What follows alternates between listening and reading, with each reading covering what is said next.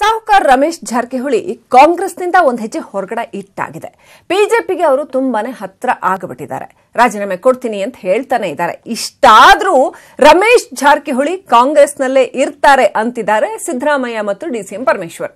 ಕೆಲವು ಮೂಲಗಳ ಪ್ರಕಾರ ರಮೇಶ್ ಜಾರಕಿಹೊಳಿ ಅವರನ್ನ ಸೈಲೆಂಟ್ ಮಾಡೋದಕ್ಕೂ ಕೂಡ ದೋಸ್ತಿ ನಾಯಕರು ಯತ್ನಿಸ್ತಾ ಇದ್ದಾರೆ ಅಂತ ಹೇಳಲಾಗ್ತಾ ಇದೆ.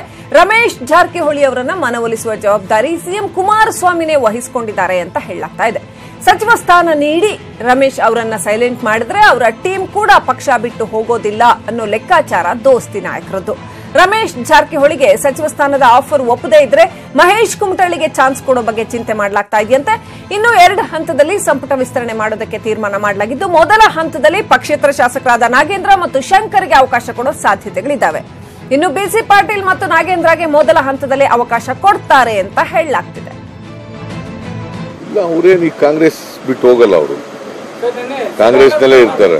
ಅಪ್ಪ ಎಸ್ ಎಂ ಕೃಷ್ಣ ಅವರು ಭೇಟಿ ಮಾಡೋಕ್ಕೆ ಸುಧಾ, ಸುಧಾಕರ್ ಮನೆಗೆ ರಮೇಶ್ ಜಾರಕಿಹೊಳಿ ಹೋಗಿದ್ದಾರೆ. ಸುಧಾಕರ್ ಹೇಳದಂತೆ ಎಸ್ ಎಂ ಕೃಷ್ಣ ಅವ್ರು ಭೇಟಿ ಮಾಡಕ್ಕೆ ಹೋಗ್ತೀನಿ ಅಂತ. ನಾನು ಬರ್ತೀನಿ ಅಂತ ಹೋಗಿದ್ದಾರೆ.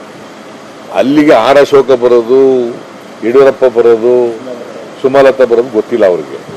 ಇವ್ರ ಪಾಡಿಗೆ ಇವ್ರು ಹೋಗಿದ್ದಾರೆ, ಅವ್ರ ಪಾಡಿಗೆ ಕೋಇನ್ಸಿಡೆನ್ಸ್ ಅಷ್ಟೇನೆ, ಕಾಕ್ತಾಳಿಯ. ಯಾರೂ ಹೋಗಲ್ಲ.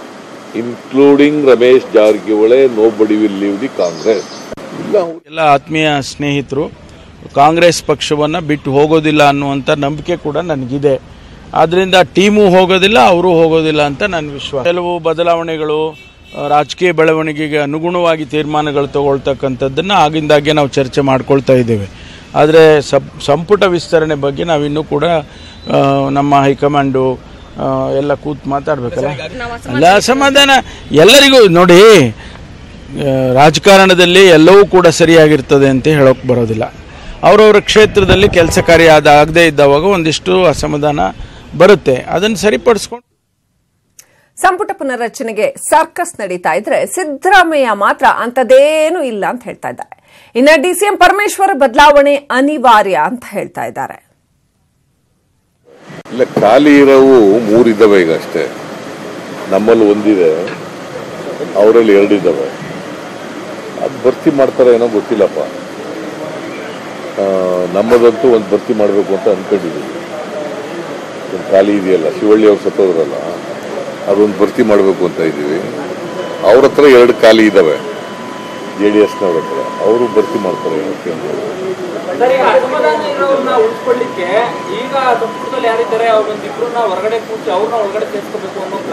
ಇಲ್ಲ ಇಲ್ಲ. ಪ್ಲಾನ್ ಎಲ್ಲ ನಿಮ್ಮ ಹತ್ರ ಇರೋದು. ನಮ್ಮ ಹತ್ರ ಯಾವುದೂ ಇಲ್ಲ.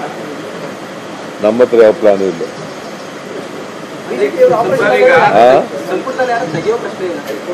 ತೆಗಿಯಲ್ಲ ಯಾರು ಲೋಕಸಭಾ ಎಲೆಕ್ಷನ್ದು ಯಾವ ಇಂಪ್ಯಾಕ್ಟು ಆಗಲ್ಲ. ಜನ ಓಟ್ ಕೊಟ್ಟಿರೋದು ಈ ಪಾರ್ಲಿಮೆಂಟ್ ಎಲೆಕ್ಷನ್ ಕೇಂದ್ರದಲ್ಲಿ ಯಾರು ಸರ್ಕಾರ ಮಾಡಬೇಕು ಅಂತ ಕೊಟ್ಟಿದ್ದಾರೆ ಹೊರತು ರಾಜ್ಯ ಸರ್ಕಾರ ಇರಬೇಕು ಬೇಡ ಅನ್ನೋದು ಕೊಟ್ಟಿದ್ದಾರೆ ಓಟ್ನ? ಇವರು ನಮಗೆಲ್ಲ ಆತ್ಮೀಯ ಸ್ನೇಹಿತರು. ಕಾಂಗ್ರೆಸ್ ಪಕ್ಷವನ್ನು ಬಿಟ್ಟು ಹೋಗೋದಿಲ್ಲ ಅನ್ನುವಂಥ ನಂಬಿಕೆ ಕೂಡ ನನಗಿದೆ. ಆದ್ದರಿಂದ ಟೀಮು ಹೋಗೋದಿಲ್ಲ, ಅವರು ಹೋಗೋದಿಲ್ಲ ಅಂತ ನನ್ನ ವಿಶ್ವಾಸ. ಕೆಲವು ಬದಲಾವಣೆಗಳು ರಾಜಕೀಯ ಬೆಳವಣಿಗೆಗೆ ಅನುಗುಣವಾಗಿ ತೀರ್ಮಾನಗಳು ತಗೊಳ್ತಕ್ಕಂಥದ್ದನ್ನು ಆಗಿಂದಾಗೆ ನಾವು ಚರ್ಚೆ ಮಾಡ್ಕೊಳ್ತಾ ಇದ್ದೇವೆ.